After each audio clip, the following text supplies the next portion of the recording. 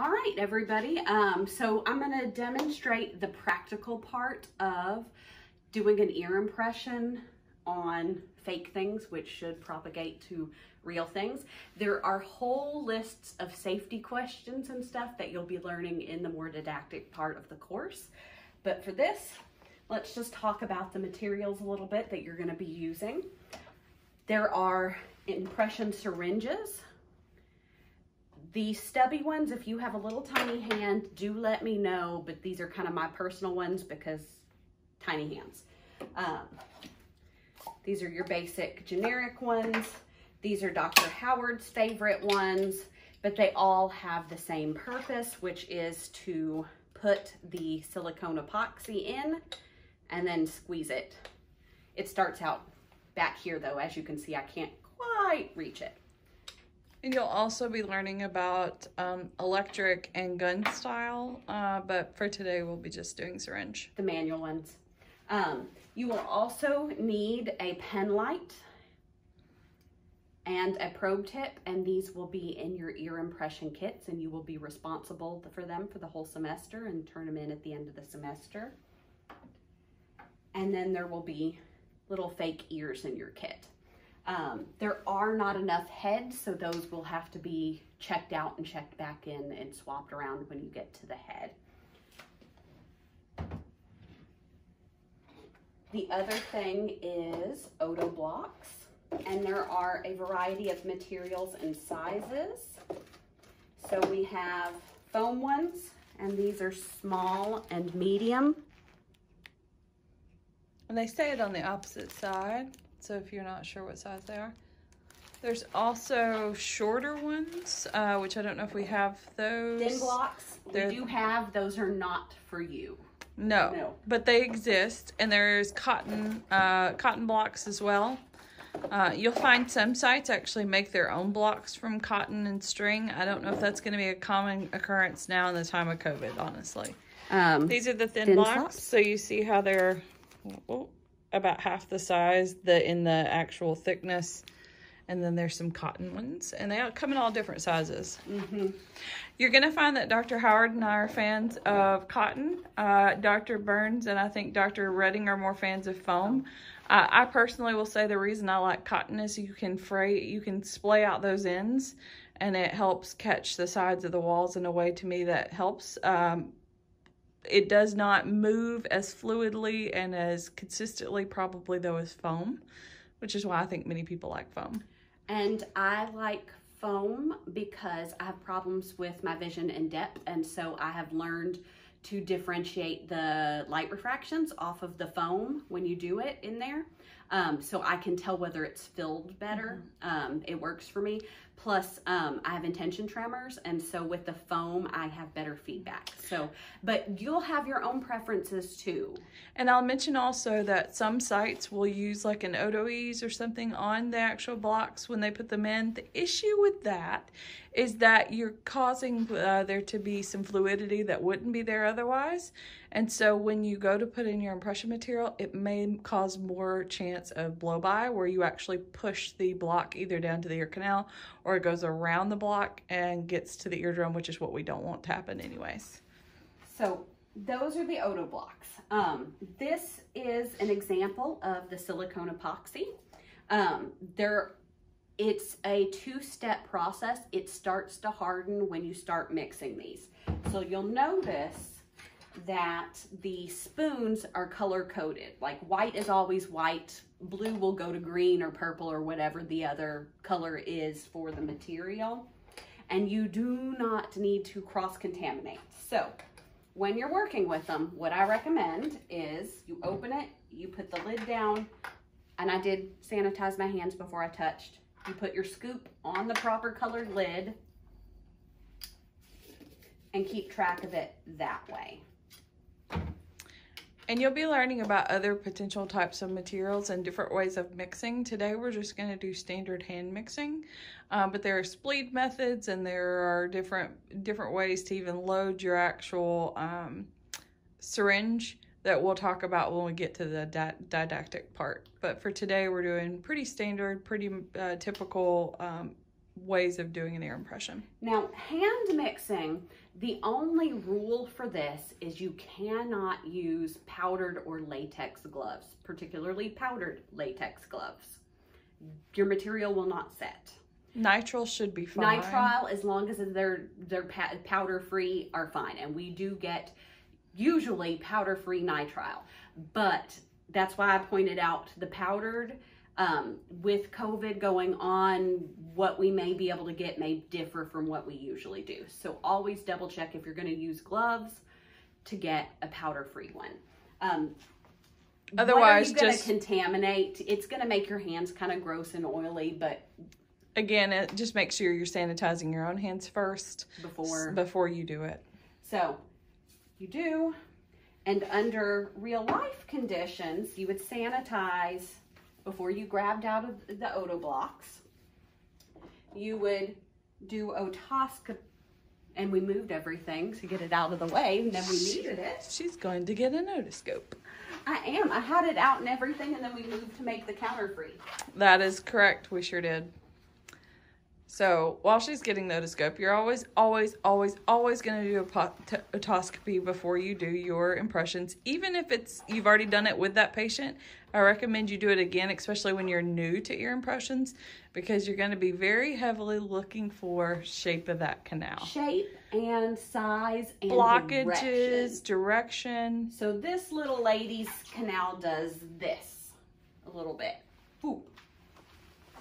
And the main reason you want to do that is because when you put that oto block in in a minute, you're not going to be able to see past your oto block anymore. So if you don't know the direction of the ear canal, guess what you're going to do to that poor patient? Make them very uncomfortable. You're going to make them angry because you're going to be poking at their ear canal, um, which is just not a very comfy thing. They may jump a lot. Uh, you may hit the vagus nerve even more than you normally would. You may have a patient experience a lot of coughing, a lot of sneezing, a lot of whatever, uh, gagging. So she's a medium. So I pulled out two medium foam ones. Now, there are a couple of schools of thought on how to protect these strings from pulling off. You need to tie a knot somewhere. Now, cotton ones, you can tie a knot and tie it close to the foam. I mean, to the cotton. But when you do that to foam, it, it actually it. it. actually kind of pulls it and compresses it. I don't know if y'all can see it well because of this being a video, but you see how it nipples in almost? It's going to change the shape of your actual And foam. it's going to cause a problem. And the only time I've ever actually seen a blow by on foam, barring somebody picking the complete wrong size, is because they tied the knot close in. or they use fluids like the Oto-Ease. I have seen that too. I agree with with Burns. I tend so, to do it middle of the string. So fast way. Don't try and do. Have your auntie, your tia, your grandma, whoever embroidered or sew to help you learn to do this. Maybe you wrap it around the finger so that it crosses right, mm-hmm. and then you just ball it up into a miserable mess by rolling it, and then pull it. And look, now we have a knot, quick and fast, and like that took about and honestly, more than normal. I probably do it slightly different. Dr. Burns, can I steal one? And you mm -hmm. hold mm-hmm. this for still for a minute. And it's really, again, still very easy. So let me, uh, so I just take it. I do that same loop she does. I tuck this other end through, right? And I pull it. And you want to pull these afterwards just to make sure that it is secure. It should do that weird little nipply thing, right? What will happen if you don't knot it and this gets in there and this decides to come out is you'll have the foam sitting down there and the string has come out of this. Sometimes you'll see that they didn't do a good job. They didn't catch enough material and it'll slip out. And then that just makes it harder to remove if your material has not actually made contact with your block. Mm -hmm. You'll hear these called dams. You'll hear them called blocks. You'll hear them called, there's another word I can't think of right now. They're all the same thing. So you do both ears at the same time. Burns, I'm going to ask you a question. What's How did you decide your size? I did otoscopy. And what were you looking for? The size, the circumference of the ear canal. Right. Match. And here's the deal. The outside of the ear canal might look like a medium, but you know where you've got to place it, how deep you have to place it, which is all the way to on the, the beyond the second bend and into the bony portion of the canal. Right, so if they have a sudden narrowing and they were a medium on the outside, but they're super narrow there, what It'll are you gonna pick? you.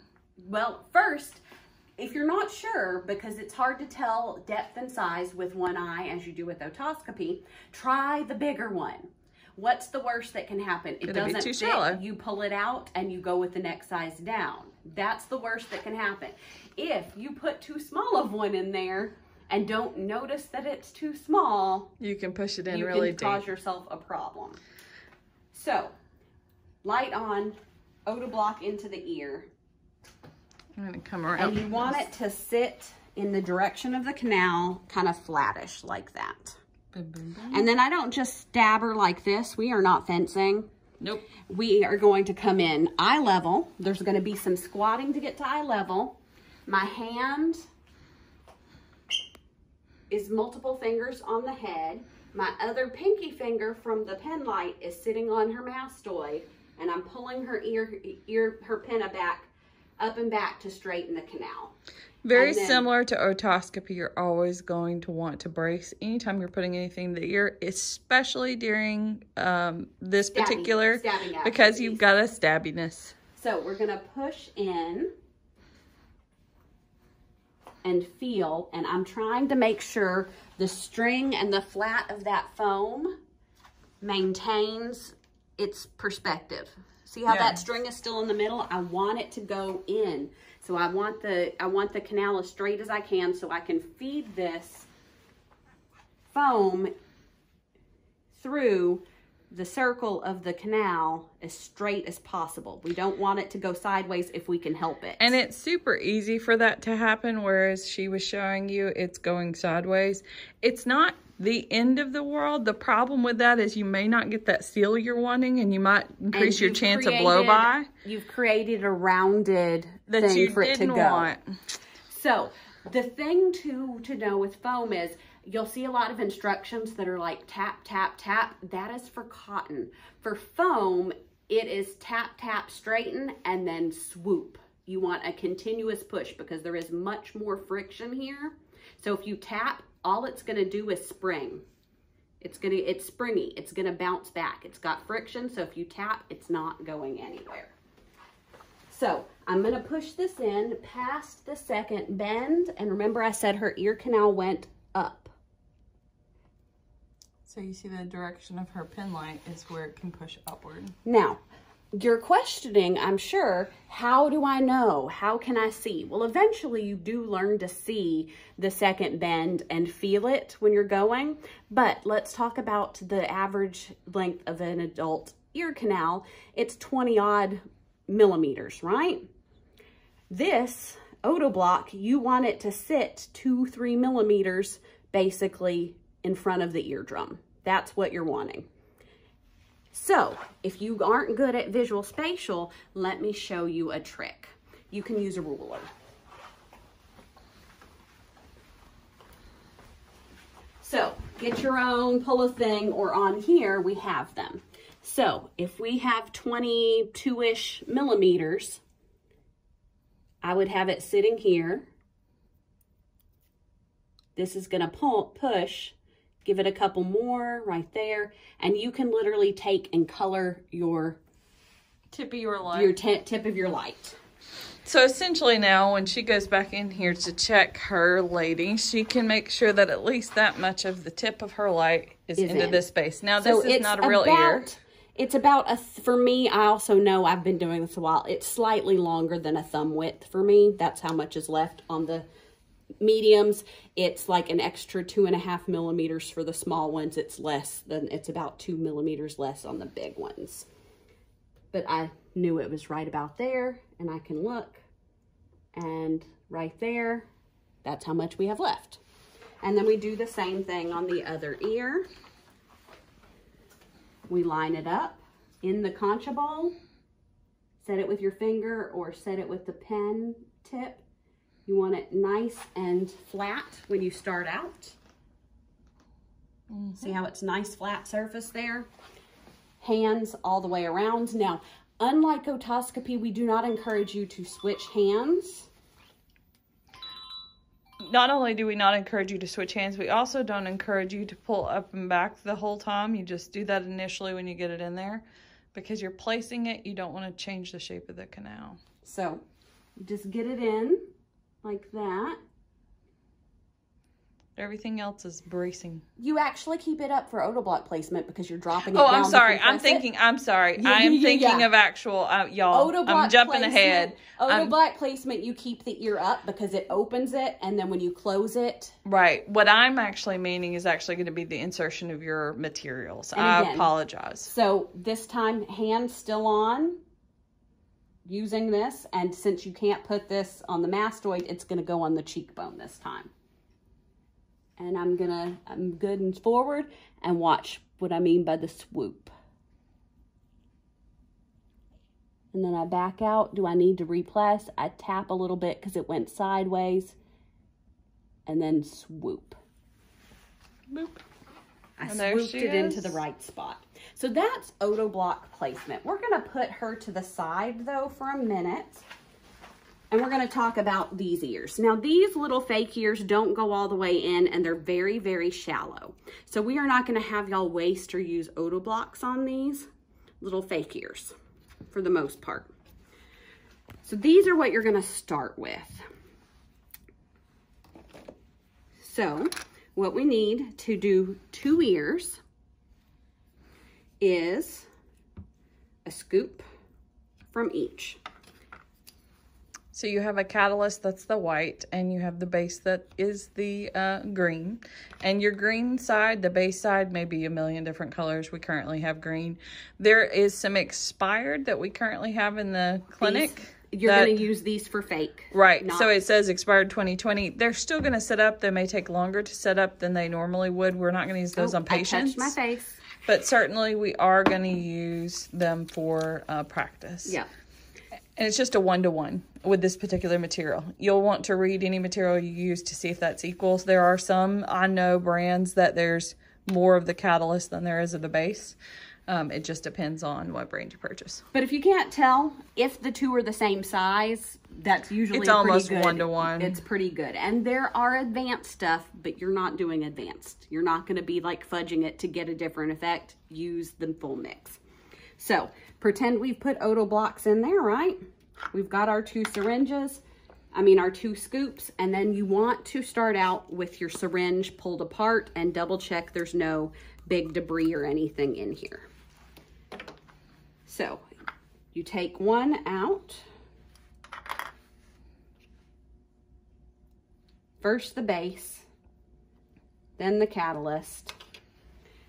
You smush them together and you mix it. Now, there's a multiple techniques. I do like a hand spleed. I spread it and fold it. I And this- spread it and fold it. And the splitting method, you guys, is literally like if you've ever went to Marble Slab Creamery or some place where they mix those toppings into ice cream and they use like a, a knife. It's that same kind Mm-hmm. of method. You're going to take a knife against a wax paper and you're going to mix it that way together, just folding it in, folding it in, spreading and folding in. just Basically like she's how I'm doing, doing it with my hands. hand. Other people fold and punch and do, and I bleed with my hands. And the idea of splitting with the knife is just that, That your you have no hand. get- You have no hand contact, uh, and your hands don't get nasty. And then once you actually have See it, see how it's all one color? and it's oily, and it should be, but you wanted a consistent it. color. and push it in via snaking. And if you spleeted it and you wanted to get all the material in there without touching You it, can, you would literally just sort of uh, rock your your thing over it until all the material was in the end. and then you push it through. Don't squeeze it so much stuff comes out and then pull the edge off. You just want it to the top. Once you kind of break the seal, it kind of keeps doing that. Yep. Then, do not pull the ear up and back when you're doing this. Now, you don't touch the pinna at all. You brace a C around the ear with the other hand, like that. Don't touch the pinna. And then you put it in, and you want, the trick to this is you angle it for the canal to start with, and then once it switches, once it gets to the, um, tragus, don't expand it and turn a little bit till it gets into the, um, Okay, I'm gonna come around for this one. and then you do the so other can see your ear. movement. See, I'm in the canal side and then I just change my angle to She's get it not really around. pulling away so much as she is turning. And see how she's staying with the material and in the material? If you don't stay with it, you're not staying in And it, you're going to create some bubbles and ripples. If there's anything left, put it in your hand and then just change direction to see how it goes. Yeah, play with it to see how it moves. Flows and so moves. that you can get used to which direction you need to go to and fill how that much patient. of the tip has to stay in. Because if I get out of the material, see it cake decorates. And here's the other thing I want you to notice. You see how this material is not hanging way out of the ear, right? It's relatively flush with the ear. If you put too much material and it's hanging out, it's actually going to change your impression because it's going to add all this weight out here. And as this hardens, it's going to pull that person's canal, right? The outer part is mm-hmm. cartilaginous. It's going to angle it. And then what's going to happen is you're going to get a hearing aid back that's been made from that impression or a ear mold made from that impression and, and it's not going to fit. It's going to be very uncomfortable for that patient because that canal is not going in the direction that fits them best. Yep. So it's very important though to make sure you get, now depending on what you do, you may need a little bit more than he this.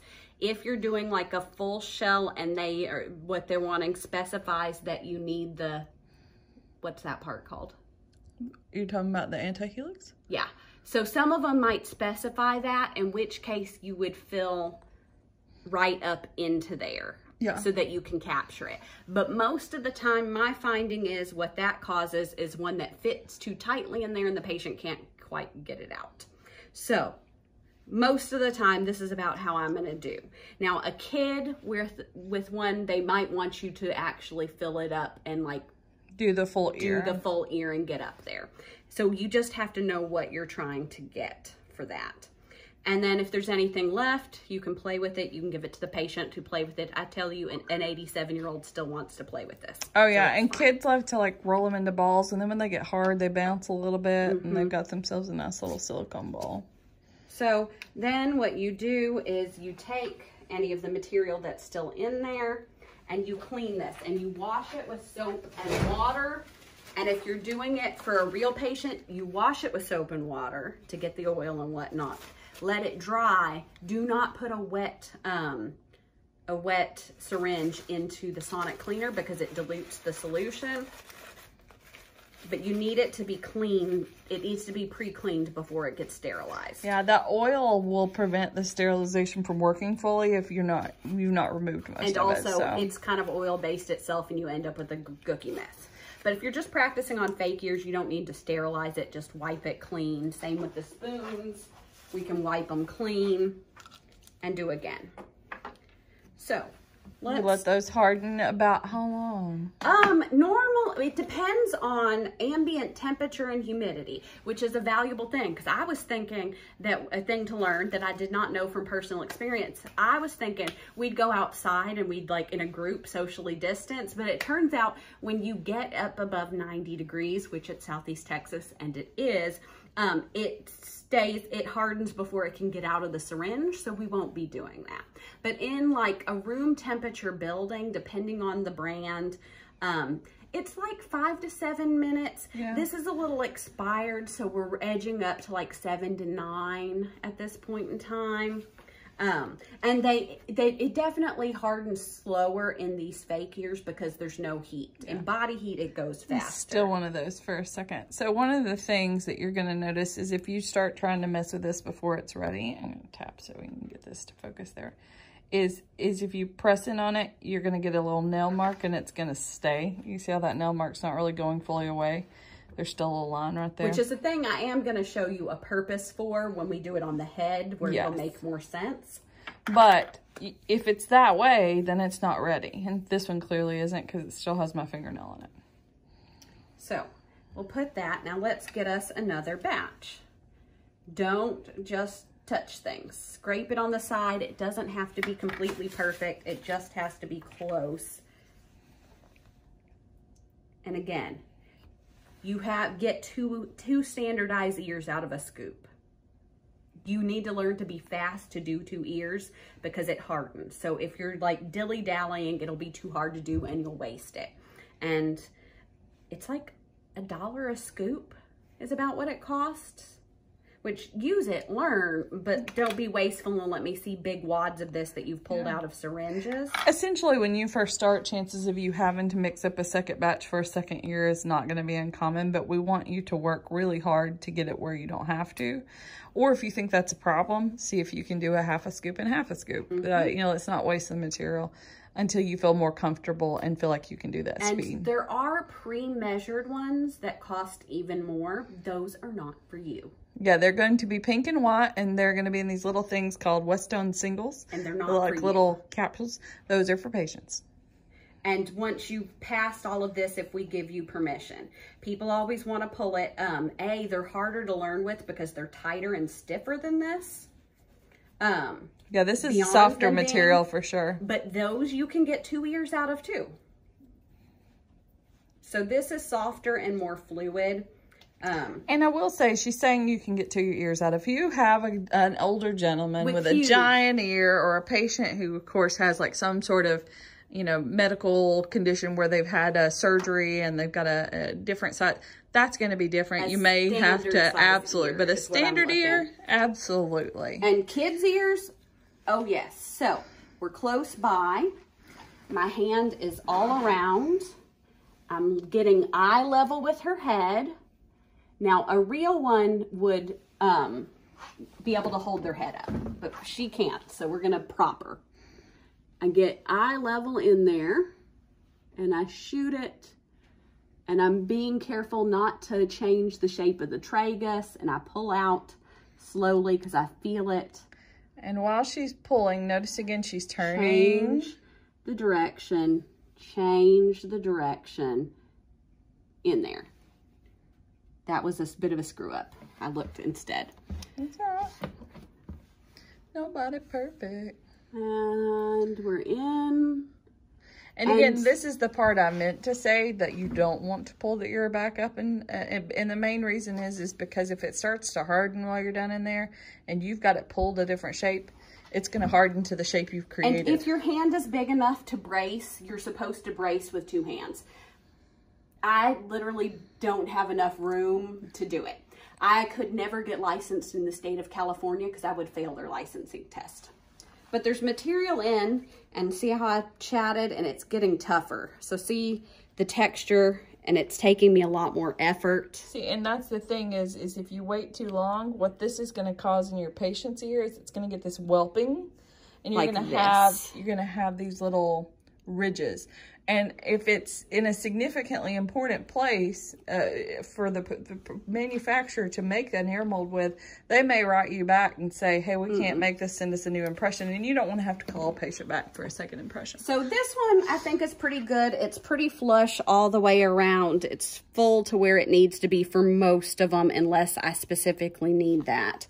This one I turned away and didn't notice the how deep it. This one might be able to get away with it because I do have an outer edge and it does do the shell, but this is not ideal. This should have been a little bit fuller, but not so full that I would have pulled the pushed the tragus out.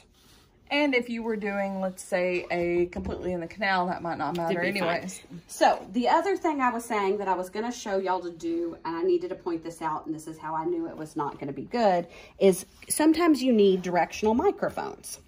So Directional microphones need to be parallel to the floor, kind of angled the way they do. Now, if you have a patient who has kyphosis and they literally point this way, this is how they point. You will want to make and measure what's parallel to the floor because it's still in front of them. But most patients who sit upright, you can line up the plane with the nose. You can use a credit card. I most often just use this little handle. And then you can just press to show your axis of directionality. Like that. See, it's a little line. And that's just to help your manufacturer when they're placing those directional mics to put them in the way where it's actually going to be there's a good front mic and a And a good, good rear mic. mic. Because you every once in a while you'll get a hearing aid in and you'll be like, what is up with this? Because it's doing something funky and the patient's complaining about how it's cutting out people's voices and what have you. And it's either actually a Or reverse a lot of- wired Yeah, backwards. or it's because they didn't have the axis of directionality to know what was parallel and they placed them best they could. And it really wasn't parallel for that patient. Okay, so see how I push my thumb and oh. nothing happens? Let me fix the, there we go, go for it. I push my thumb and nothing happens. Right, everything So- bounces back. In a real patient, what you want to do is break the seal. You just kind of wiggle up and down. You can even motion to the patient, move your jaw. Uh-huh, like that. Because if they'll chew and move their mouth, that even helps as well. So you push, and then sometimes if you need to, you can kind of tug on the string to break the seal if they seem a little uncomfortable. Um, and then you just get your fingernail under or whatnot, or pull it here. See how there's usually a tiny bit of a little thing here? And that's usually where I recommend because then even if you don't have nails, you see how I, can, I don't have any nails, I can still pull Mm-hmm. up and grab. And then I can grab it and pull it out. Yep. Or you can And since we're telling you to keep your nails shut, sh- short. Although this is pretty short, you don't need much, but you can, on a lot of people, you can pull, you can push the, um, this part, right. the words. Why can't I remember any anatomy today? I don't know. I can't. So you can fold this up. I can remember kyphosis, but not like ear anatomy. so, but you can kind of just pull and get it here too. Now, depending on the shape of their ear canal, you may pull it straight up or you may twist it. And this one, it helps to twist it. And see how it went all the way into the end. And there's no, like there is a line, but that is an actual line of the mold. Right. You, and that's one thing you're going to notice. Some of yours will have this this little bloop. You see? Uh, let me get this to uh, focus on this better.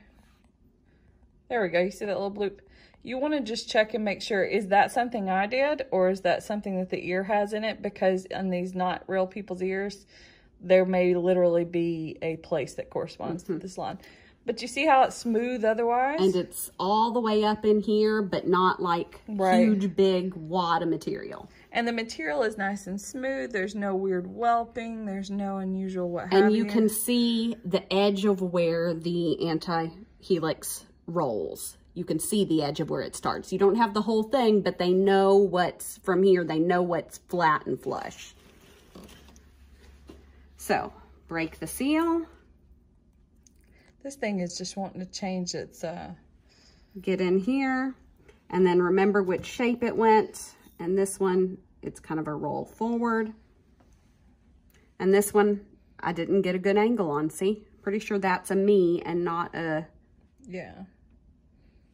let's check. That's there. Yep, that was, that was a me, not getting all the way in there. Now, how much of a problem is that? It depends on what I'm making. Doing a canal with lock, it's not even gonna go there. Same with here. I didn't quite get it all the way filled in there.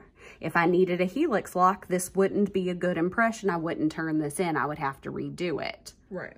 So this is an example of a failed one with its missing helix and its void here in the concha. Those, that's a failure. This one is a pass with all of that. Correct. And I mean, this one I would say classic. You see on this side how um, how smooth that is. Yeah, there's some tiny, tiny air bubbles, but that would be classically how you'd want it to look. Now, what I'm going to tell you is you see how this looks kind of matte? In a real person's ear, they're going to have oil. And so this may actually even appear shiny from the oil from their ear, but you should still have that kind of texture.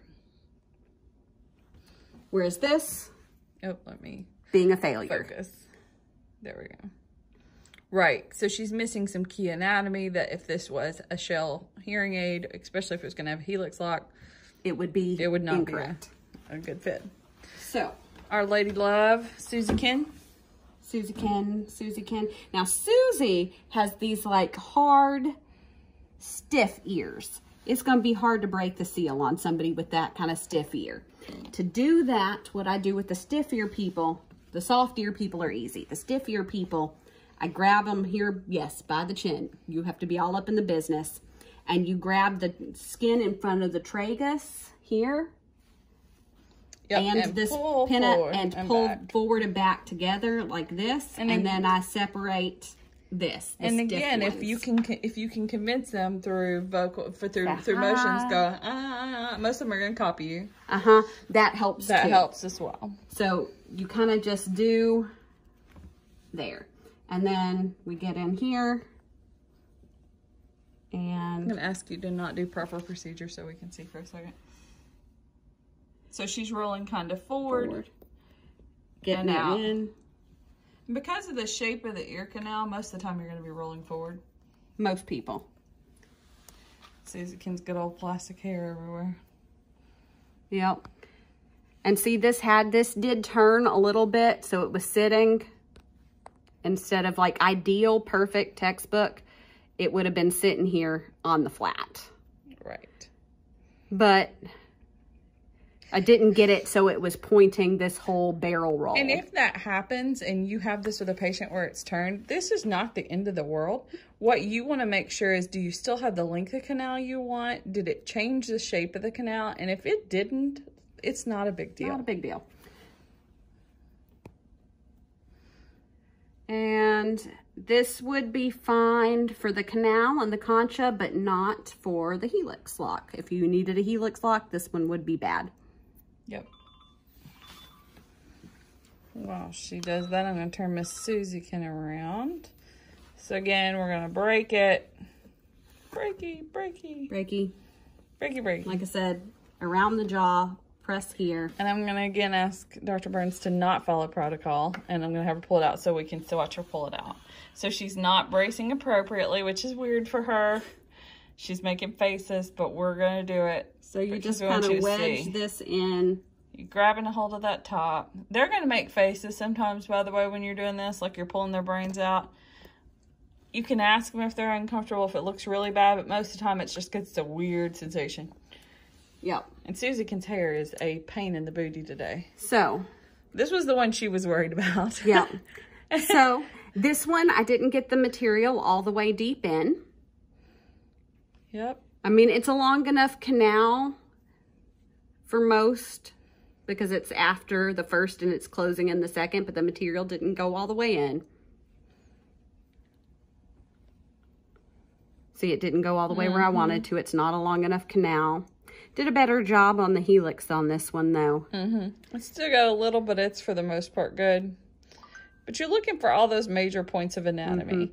And we'll be talking in uh, your hearing aids class about, you know, which parts of those are more important than others. And it depends on what you're trying to order. If you're ordering a short canal for somebody with like severe vasovagal thing, You may even purposefully Purposely. want to make it a short canal in those cases because sometimes you'll get yourself a manufacturer who thinks they know better, but for the most part, they're good.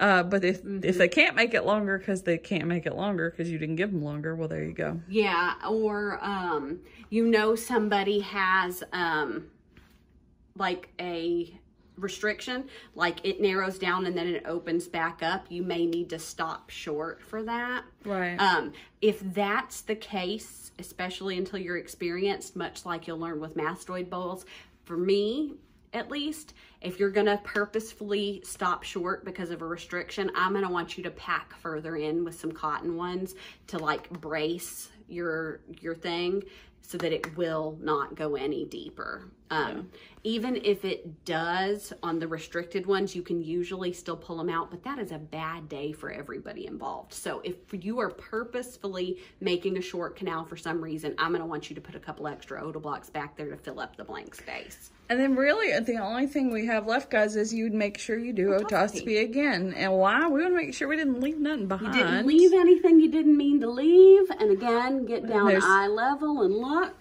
No damage, no whatever. If you for some reason see you did leave something behind or you you see a little irritation, don't panic and immediately be like you can say, You can say, I'd like me, especially since you're new, I'd like my supervisor to take a look too and see how that looks. And if there's something in there that can be easily removed by Curette, hey, we just need to make sure we, whatever, we're going to grab this pull out. that piece of foam out. Let me pull. And boom, boom, boom, the end. Or, all right, and now it's time to do the time to do the tympanometry, just to check to make sure everything's moving the way you want. You know, you can just be very blasé. Okay, now it's time to do the da da da da. And again, then if it ends up being a problem, you're going to be honest about it. Yep. But it, don't panic the patient over something that may be very simple. So I think that. I think that's it. Parts. Y'all will be practicing these wonderful things. We have you Oh, start on the little ears. That's no, that one thing. So noticing how stiff this was, part of that problem is this one has a very short, um, this my little stubby one isn't just stubby this way, it's also stubby there. In length. So this actually was not an appropriate syringe choice for Miss Susie Ken here, which is part of why I couldn't get into the canal the way I needed to, because it literally doesn't have enough room or length. See how the fatness of this and the shortness Shortness of of this did. combined So, is bad. You put this one or this one, and these ones you could have gotten a little bit deeper in the canal. There's even one once you get experienced. Um, so these are like, this one's discontinued. I can't get anymore. So if you need it, like let me know, but don't wander off. These are like $5, I think. These are like $15, and then they make some ones that are even thinner here, and they're like $22 a syringe. So those won't be in your kit, but once you learn how to do, they are here and available for use. And then the, Um, the other thing I want to point out, Dr. Burns keeps telling you guys about these costs of these things. Really start to take take stock in that. If you guys one day decide, hey, I'm going to start a private practice when I finish, and you think, oh, well, that's just a dollar. No, that's just five dollars. That those costs add up rather quickly, and so it's really important for you to start thinking about those things now. In your third year class, you will have uh, both a business course uh, about private practice and other uh, the, the uh, really other organizational things you need for the for the practice of private practice and other um, And it's Parts where you might have a little more admin. practice. Um, so, for instance, most sites have these. They're cheap. Mm-hmm. They're cheap.